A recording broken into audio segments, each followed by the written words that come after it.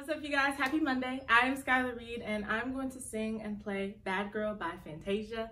Um, I recently listened to her album Sketchbook, and I really love the album. I'm used to watching Fantasia perform and studying her performances and how she delivers on stage, um, but I thought I should go listen to her albums and listen to her music more. Um, and I really am glad that I did and I found the song because I love, love, love this song. I've been working on the song with my vocal coach and just getting it stronger in my voice, working on building up my higher chest register and everything. I hope you guys like this and if you do, please subscribe, please like the video and share.